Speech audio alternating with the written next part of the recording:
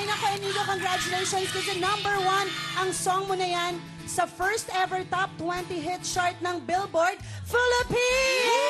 Congratulations! Maraming maraming Grabe! salamat. At saka, diba, in- na, na-release lang yan nung June 12? Yes po. Pero, oo, June 12 lang na-release. Gaano ka kabig, gaano to ka-big deal sa'yo na ikaw yung nag-number one?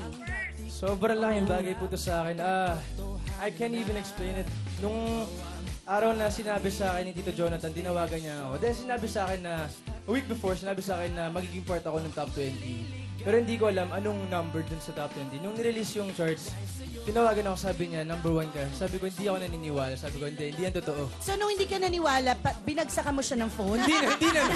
okay. Hindi naman. Kasi parang gano'n na yung dating na. Hindi Oo. talaga ako naniwala. Sabi ko, hindi posible yun. Tapos, pagtingin nga, pag-send sa akin ng link, it was actually number one. So, sobrang, personally ako naging emotional ako dahil pangarap ko lang po to dati. Uh, everything that's happening right now, it's, it's all a dream that I, I still can't believe that it's actually happening already. Na when people sing my songs, iba yung feeling na nabibigay sa akin. Iba yung feeling of uh, fulfillment. I mean, parang it's something that I can't explain na hindi nabibigay ng ibang bagay na ginagawa ko po. Tama. Hindi kasi nakita naman namin how dedicated you are. Nakita namin na talagang porsigido ka and you're focused, especially dito sa album mo, di ba? Oo. And talagang, ang galing mo eh. You have the talent. So talagang you deserve it. Thank you. So yan ang papasok mo sa isip mo na para hindi ka na, na nagpapatay ng phone. Lang. Ngayon naman, ano masasabi mo na sobrang proud sa'yo naman ng daddy mo? That's every son's dream naman po, di ba? That's every son's dream to ha- to know that your dad is proud of you and uh, I'm glad that I have my dad by my side every step of the way na kahit hindi man physically, I mean, he makes me feel that he's proud of what I'm doing and uh, hindi siya, no, hindi siya, he's never been an enemy at all.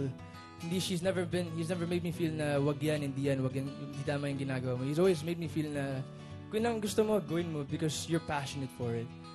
So, ako masaya ako na alam ko na, pin, siya, nauna pa nga siya nag-post sa akin, hindi ko pa nga napapost yung tungkol sa billboard, siya una nag-post. So that, you know, seeing something like that, parang even, even if I don't see him all the time, nararamdaman ko na sobrang proud siya sa akin. And that's a, that's a feeling na di ko ma-express. I'm super, super thankful for my dad. Wow!